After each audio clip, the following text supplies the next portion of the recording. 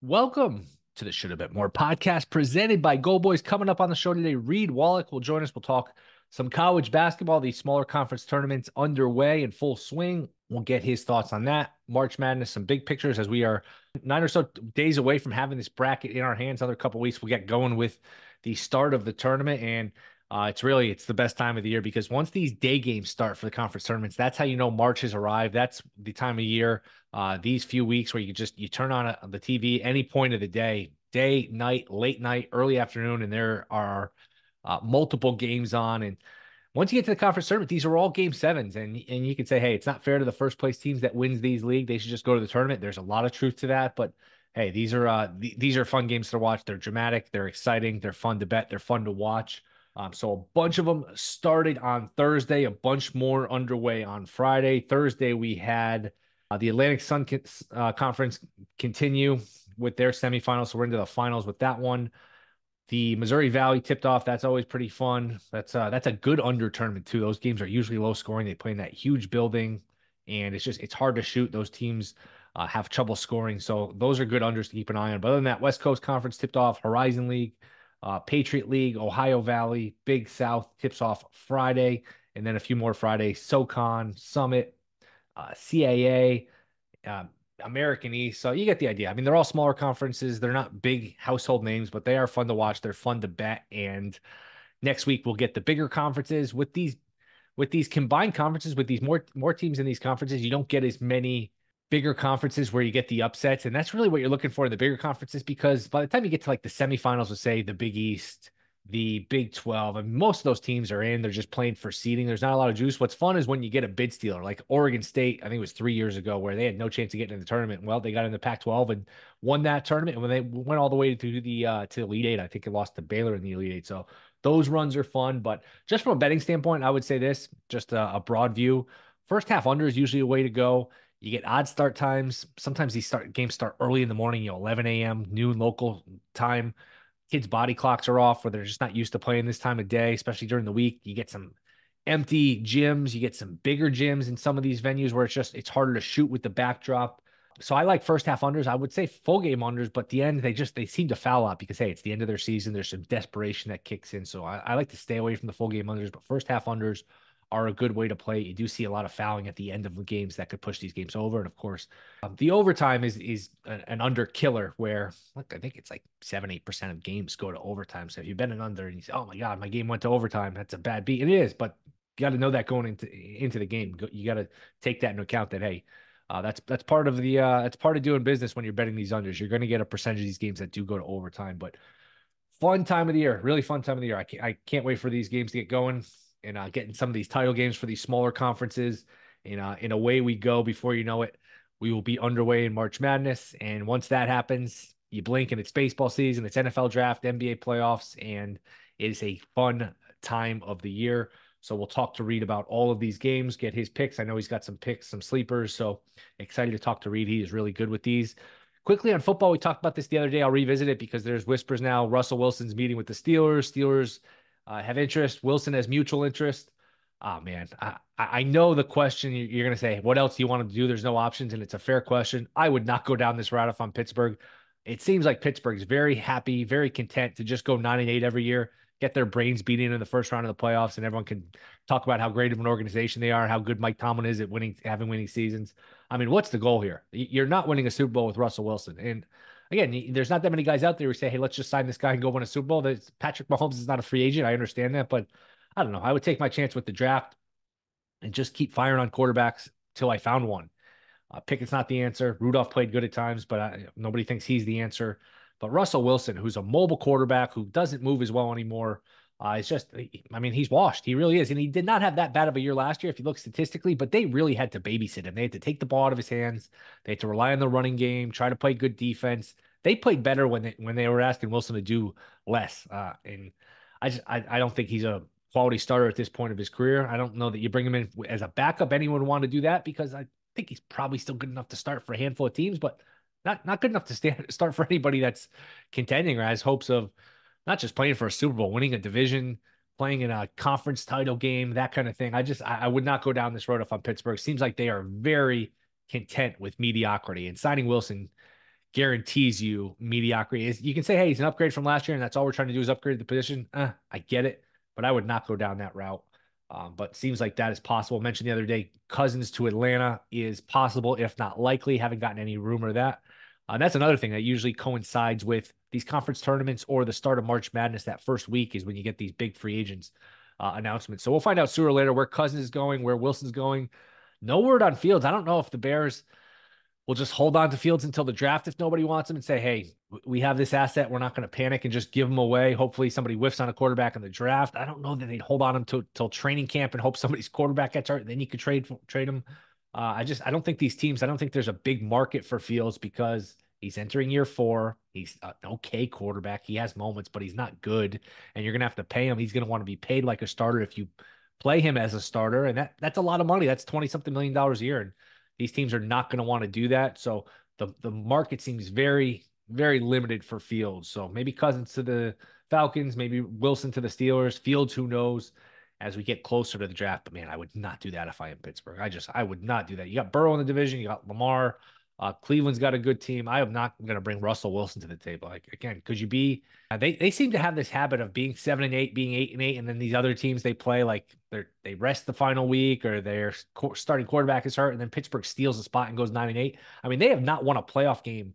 Uh, basically, in like a decade, I think 2016 was the last year they won a playoff game. So it's been a long, long time since they won a playoff game. And I know everyone loves Tomlin. He's rah rah. He's good in the media. He gives good quotes, but they have not done anything in a long time. You say, hey, they haven't had the team. He's overachieved, and there's some truth to that. But he had some really good teams with Roethlisberger, Antonio Brown, Le'Veon Bell that kind of underachieved too. I mean, he won the Super Bowl his first year in 2008, and I think they only won. He's only won three or four playoff games in the 15 or 16 years since. So I don't know that I'm going down this road if I'm Pittsburgh, but between Arthur Smith and Russell Wilson and Mike Tomlin, uh, I I will be looking to bet it under next year. Maybe this is the year where they finally have a losing season. And again, just because you have a winning season doesn't mean you have a successful season. If I'm a Steeler fan, I'm I'm tired of spinning my wheels. I'm tired of either missing the playoffs or making it and having no chance in round one. I mean, there was a year where the Chiefs buried them in round one. The Dolphins killed them in round one uh, a while back. Buffalo, they weren't competitive against Buffalo this year. I mean, just because you get in the playoffs doesn't mean you're a contender. So strange move. I get it. You're, you can say, hey, it's a name. We're upgrading the position. He's better than Pickett. We don't have a lot of other options, but I, I would not go down this road if I'm uh, if I'm Pittsburgh. But that's the football. The college basketball is in full swing. We will discuss that more with Reed Wallach. That is next. This is the Shoulda Bet More podcast. All right, we are back. Shoulda Bet More podcast. Excited to catch up with my old friend Reed Wallach from BetSided, the Early Read podcast. Reed, what's up, man? Happy March. Happy March. Happy March, Will. Happy to be back on the podcast. Very busy time of the year, but a great time of year. As we're recording this, we got some day ball on, and that's always uh the best part of March. There's games on at all times, and uh, you know, just trying to uh enjoy uh a bunch of 18 to 22 and probably now 25 year olds uh, trying to put a ball in a hoop. Uh, and we will go through these just so people know. Like we're recording this Thursday afternoon. We're going to do our best. It's it's tough with the turnaround time. I know people aren't going to listen to this Friday morning, Friday afternoon, maybe Friday evening. So we're going to do our best to try to keep everything in contest and not uh, date everything again. It's not always easy, especially with just games constantly. We'll do our best. Just uh, in general, as you head on, forget the conference tournaments for a second. The last regular season weekend for these big conferences is it a stay away from you? It's a little like Week 18 of NFL where some teams maybe they're just mailing in. Some teams are playing for a lot. How do you approach the final weekend? I definitely try at least in earnest when I circle. excuse me, when I circle my spots, like where I'm going to target, I'm going to try and go in with.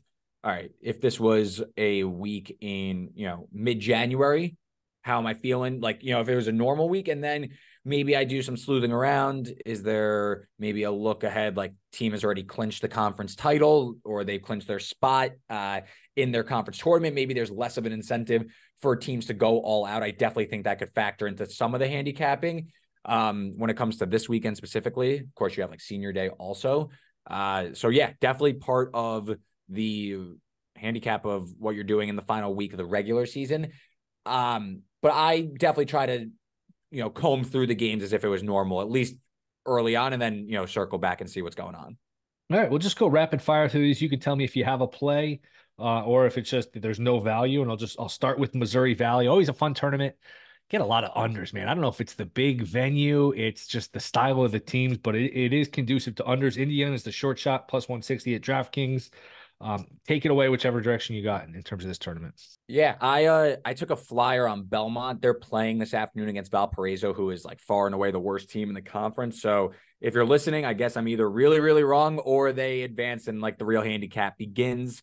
Uh, Belmont, if you go through January 31st, they actually played Indiana State on that day, but that's about a 10 game sample for pretty much all the teams in the Missouri Valley. Belmont's actually the best team, somewhat schedule oriented, but they were the best offense, and that kind of grades out. They slightly outpace Indiana State. Uh, they are on the same side of the bracket as Indiana State. They led the Sycamores, who are, um, I think, every social account on college basketball Twitter's uh, pining at or chomping at the bit for Robbie Avila to make the tournament. Uh, Cream Abdul-Jabbar is what they're calling him. I think Belmont's a really tricky matchup for them. I think they could outpace them from three. Belmont, like I said, this is the best team in the MVC over the last month or so. So again, I'm 19 to one. They can shoot over Northern Iowa's pack line, who they would get in the quarterfinals, assuming they beat Valpo. And then it's that matchup against Indiana State. They led Indiana State by 16 in the first half without their leading scorer, Ja'Kobi Gillespie. So I kind of think you could see Belmont catch a little fire here. I also, if it's not Belmont, uh, I think Drake's a pretty miserable matchup for Indiana State as well. So I would, I actually, I, I think these like Indiana State chalks, uh, no thank you. I would prefer a, a flyer on Belmont or take in what like 250 with Drake. I think Drake's side of the bracket is much more, you can navigate it much easier. West Coast Conference. Should we just fast forward to a Gonzaga St. Mary's final right now? Yes. Has that been and- the final for the last 20? When was the last time they didn't meet in the final? Maybe one year they met in the semis. I'm just trying to think. I could, of course, look this up, but it seems like every year these teams face off. Yeah, and honestly, usually Santa Clara, San Francisco, those teams are a little bit sharper. Not as much this year. San Francisco, I think, is kind of like fake goods anyway. They kind of just beat up on the the bottom part of the conference. Gonzaga, I think, is an interesting opinion. This like isn't necessarily like West Coast Conference related, but just Gonzaga in general flying up the boards, starting to look like an like a they have the profile of a team that can make a run. I do think they're turning into something, but a lot of that might do with the fact that they were a poor three point shooting team for much of the year and they just shot 40% from three over the last 10 games. So, like, is that what this is? You know, are they really that good or are they just running really hot from three? Something you need to keep in mind because Gonzaga, they don't have a lot of three point shooters. I don't believe anyone on their team outside of Nolan Hickman has made like more than like 53s or something this year. So this isn't a perimeter oriented team. So when you're shooting 40% from three and you're not relying on it, it's a pretty nice thing to have in the bucket. So keep an eye on Gonzaga. I think you're going to see a lot of people like go to them in the tournament. I haven't made up my mind which way I stand with them. Obviously, bracket dependent. Horizon. The short shot is Youngstown State two to one, and a lot of people like Wright State plus three twenty. It was a very good offense. Uh, what are you looking for in this tournament? So this again, we're recording Thursday, so this might all be for naught, but Purdue Fort Wayne was a team I took a shot on uh, in the Horizon. The Horizon League, I gotta pull up, but over the last 10 years, I believe the one seed has only won like four or five times, and like the five seed has won three times. So, like, this is a conference that gets crazy pretty regularly. Uh, so Purdue Fort Wayne is a team I took a shot on at 14 to 1 to win the tournament. By the time you listen to this, if they're still alive, it will be not that. But Oakland, who is the one seed, was about the third choice in the market. So this like isn't a it's not an Oakland team that is um thought of very highly in the market, I should say. So I like Purdue Fort Wayne. They are the best team at protecting the ball and also turning opponents over. Uh, so I think that they could cause a little bit of havoc. They also shot very well over the last month. So Purdue Fort Wayne, I think in the horizon is a team that can get going on both sides of the floor. They also rank inside the top 50, uh, top 55 in Haslametrics away from home rating. This is kind of a good good rule of thumb with conference tournaments. Teams that can play away from home, most of these tournaments are on a neutral court uh, teams that could travel, it's going to pay off. Uh, hint, hint, wink, wink, Alabama and Auburn. Uh, teams that can't go on the road, probably going to struggle on these neutral site games. So, uh, Purdue Fort Wayne has done well all year on the road. So, I think this is a team that can maybe catch some fire. But honestly, there's a lot of teams in this conference that could, like this one is probably you're going to see like the four versus the seven seed come, you know, the finals. So don't be surprised if this one like looks wacky when you're looking at it from a like box score perspective. How about the Patriot League? Colgate has dominated this conference in recent years. I don't think it's a vintage Colgate team. We think of them and they're just they're always good on offense. They get to the tournament and they struggle because they try to play fast. They try to outscore teams. They just don't have the athletes. But I don't know. A lot of people think this Colgate team is vulnerable. They are minus 250, like I mentioned. I know some people like Lehigh around 10, 11 to 1. BU is, yeah, 6 to 1, the second short shot. Anyone you take a stab at, or is this just Colgate's to lose? Not much of an opinion here. Colgate like is such a massive favorite, but also like this is it, it, a lot of these conferences they have a unique setup to them. Like Horizon League, they reseed. Patriot League, it's all at Colgate. The number one seed hosts the entire tournament. So, uh, you know, are you going to count on a team in Colgate that hasn't lost at home, or they lost one game at home in conference play on January 10th to Lafayette by five, but they were able to beat Lehigh by a couple baskets. That's probably why a lot of people are flocking to them like if you want to take a flyer, sure, but I, I didn't have much interest here. Colgate justified favorite. Like I don't know if the if the number is going to match like the upside for some of these teams.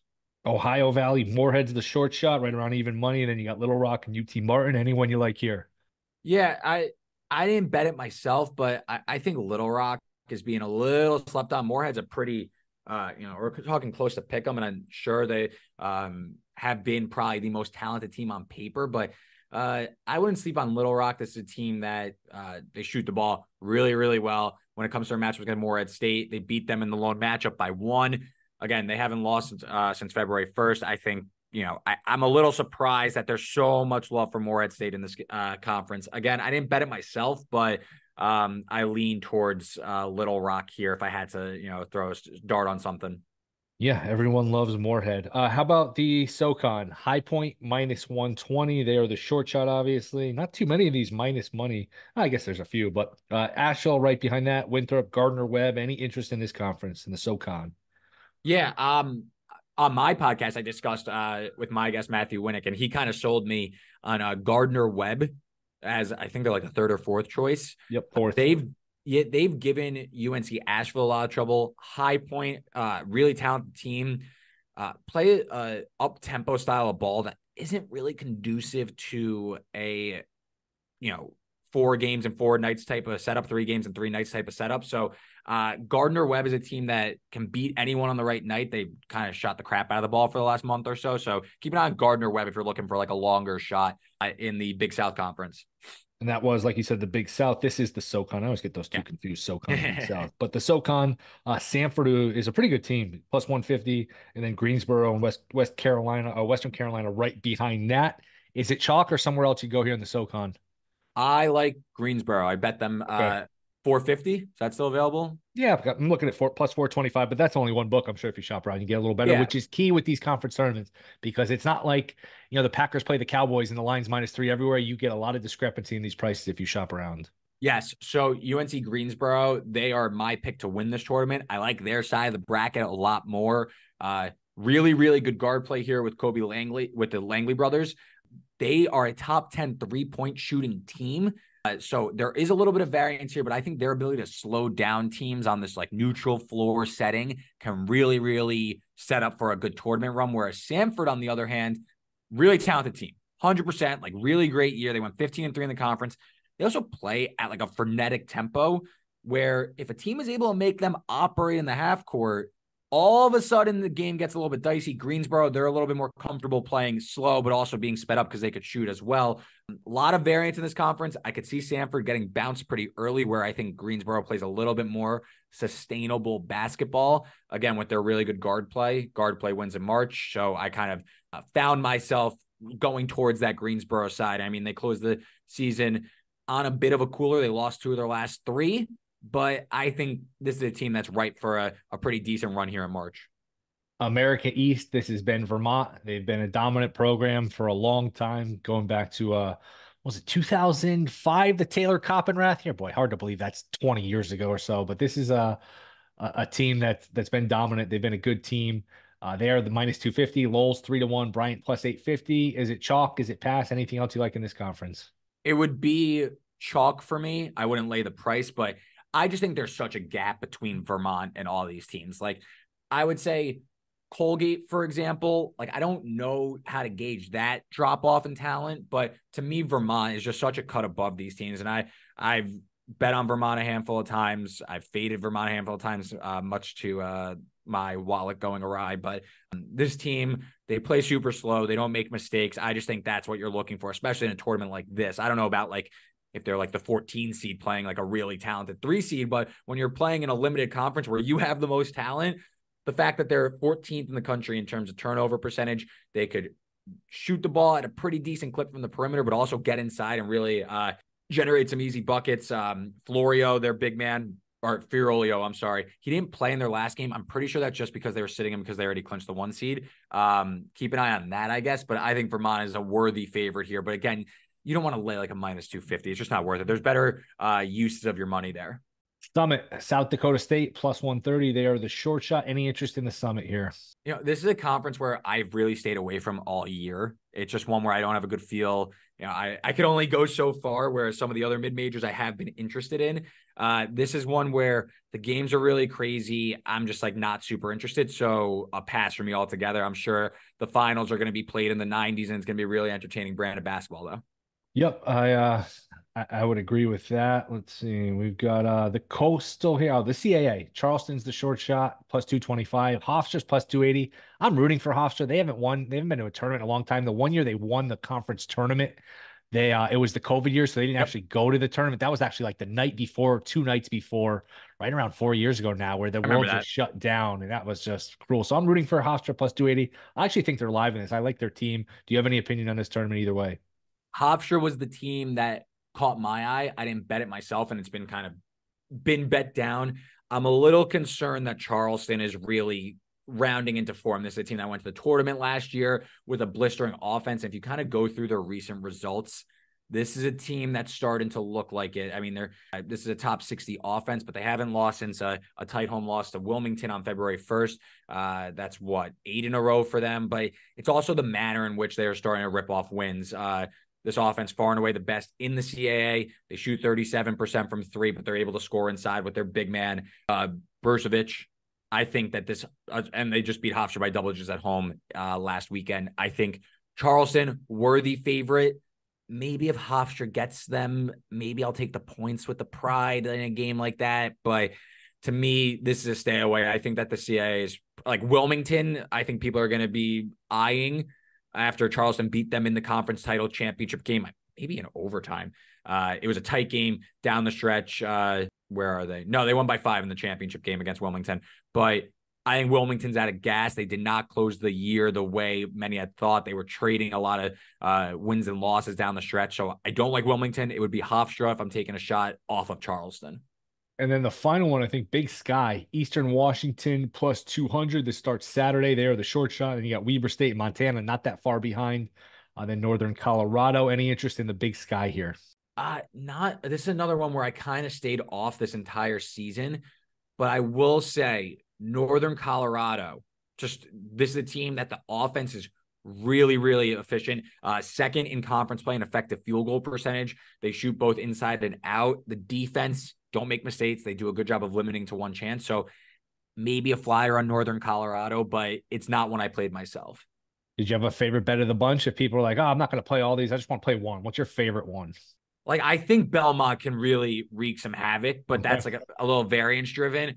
Uh, I do think Greensboro, though, it, should be closer to Samford. On the opposite side of the bracket, they are the two seed. So I like their path to get to the championship. And then I like how they match up with the favorite Samford. So I would say Greensboro at around like 450 is probably my favorite.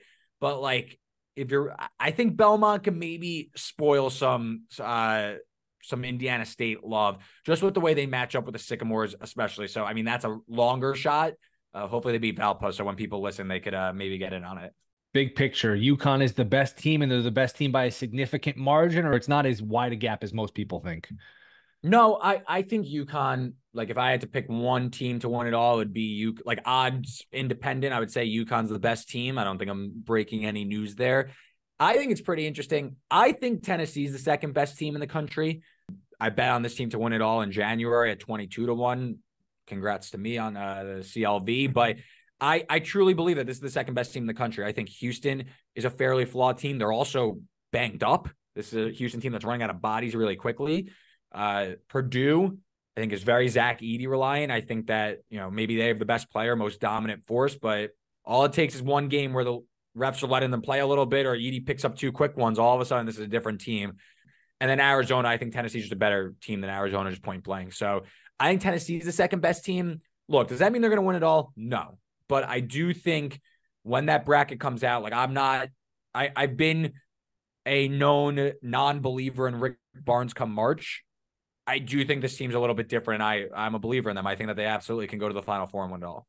Any team that you have in mind, like, hey, when the bracket comes out, I can't wait to bet against them, or when the tournament when the bracket comes out, I can't wait to bet on them. Do you have any t- teams in mind that are either overrated or underrated? Yeah, it's a lot of SEC teams. Alabama and Auburn, I'll probably be betting against at a pretty, you know, at, until they're bounced. Obviously, this is matchup dependent stuff, but those are two teams that just thrive on their home court. They're completely different teams on the road. So those are teams. If they could, uh, maybe not the mid majors in the first round because like they'll have so much more athleticism that they could run them off. But like second round, give me a competent opponent that could handle the ball and handle some pressure. They'll just absolutely carve up those defenses. So Alabama and Auburn are probably dead fades for me. I would be absolutely shocked if they make runs. Um, from like the middle tier, I'm a little interested in Florida. I, I think that this team has been competitive all year. They're playing their best ball now. You know, you kind of look at their losses in SEC play. Uh, they started one and three, right? Since then, they're what one and three. They're ten and three since, and their losses were at A and M in a really crazy game. They led most of the way at Alabama in overtime, where really it's been impossible to win there, and then at South Carolina, where they led most of the game as well. So, sure, like I'm talking home road, you got to be careful, but I think this team has size. They could shoot the rock. They play good defense. I like their coach and Todd Golden. Me so too. I think Florida has some upside. What are they like on like the sixth line? Probably. Right? I agree. I think that'll be a trendy one. I, I could see Florida uh, obviously matchup dependent, but like I think that's a team again, when I'm looking at like, okay, I'm trying to project into the future and I'm trying to see who can make a run. I want teams that can win in multiple ways. Team that yes. can win grinders, teams that can win high scoring affairs. Florida looks the part to me. And it's why I like Tennessee as well, because Tennessee has proven it's balanced enough where it could win in different ways. Like Houston, I'm not sure come tournament time that offense is going to translate to a high scoring affair. It's how they got bounced last year against Miami. So I think Florida is an interesting team peaking at the right time. Just another note on Tennessee, real quick. I'm praying they get bounced early in the SEC tournament. I want them out. I want Dalton Knecht on ice. I want a nice little breather because this team, they're home for Kentucky on Saturday. I don't know if they're going to go full throttle, but I imagine they're going to win. They're going to be a huge favorite. But um, even if they win or lose, they've won one, two, three, four, five, six, seven in a row against quality competition, too. I'd love for them to get like a quick loss out of the way, get an extra time off, and like really get some extra time to prepare for the tournament. Yep, it makes sense. And you go back and you look at teams that win the NCAA tournament. there's uh, at least top of my head, there's no rhyme or reason in terms of like correlation between how you do in the conference tournament and the NCAAs. I know some coaches take it very seriously. Some, I think, if you gave them truth serum, say, "Hey, I really don't want my team playing three games in three days, four games in four days, then have to turn around and play Thursday or Friday in the tournament." And so I don't know. Have you found that same thing where it's like, you, you know what? Sometimes you take the conference tournament. Look at UConn last year. I think they lost in the semis to Marquette. They turn around and they bury everyone in the NCAA. So I, and there's not always a rhyme or reason for it. Yeah, there's usually, this is more anecdotal than anything, but there are usually, there's usually some, I should probably look into this, but there's usually some truth to like, you don't want to like blow your load the week before the tournament. You know, right. you don't want to be like hitting on all cylinders against your conference tournament because you know you celebrate, you cut down the nets. You know, it's a big thing. You play a lot of game. You play what four or five games in that many days. You know, you celebrate, and then all of a sudden you got to turn around.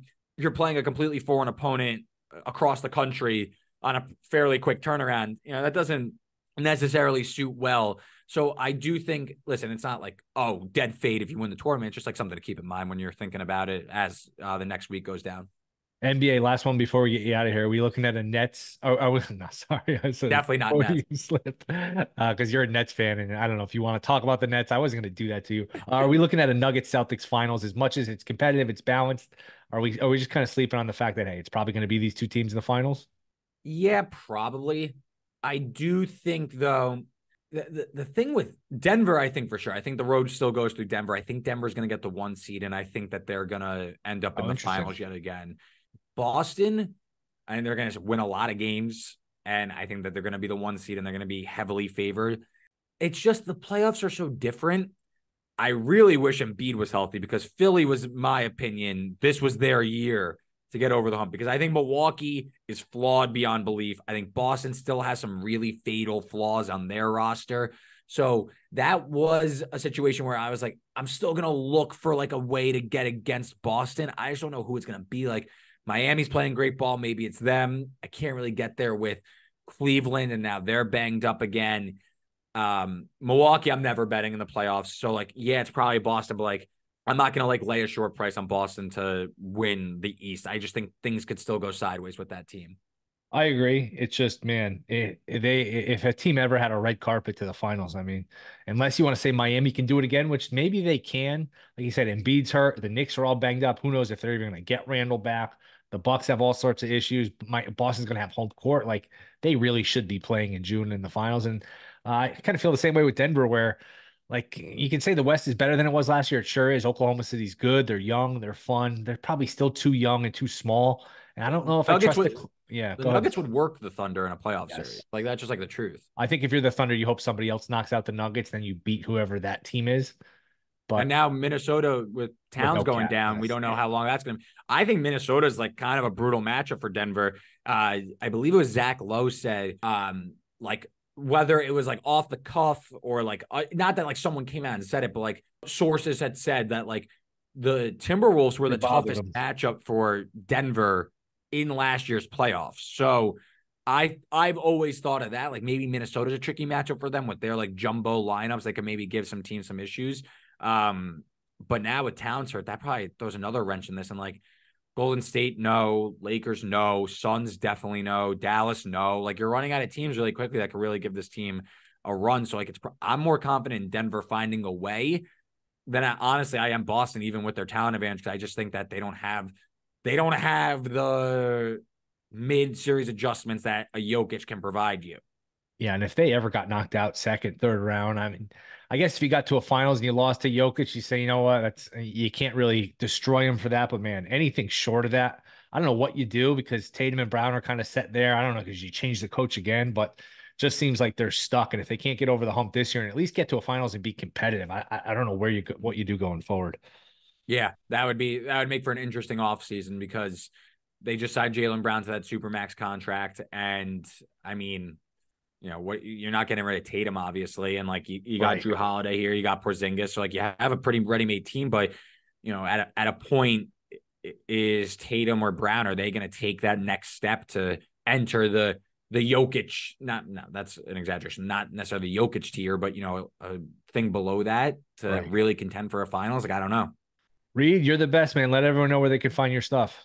Yeah, you can follow me on Twitter at Reed Wallach, just my name. Uh, read my work over at BetSided. I tweet out a bunch of stuff with uh, my links to my best bets for the day, a lot of like historical analysis that I like to do. And uh, yeah, follow my podcast, uh, The Early Read, wherever you listen to them. And uh, yeah, new episodes uh, weekly for the tournament. Going to be a lot more. I'm going to be doing every day game previews, game handicaps, uh, you know, Thursday through Sunday on those games. So uh, yeah, make sure you're tuned in this March. All right, man. Appreciate you coming on. The best time of the year, man. Enjoy it.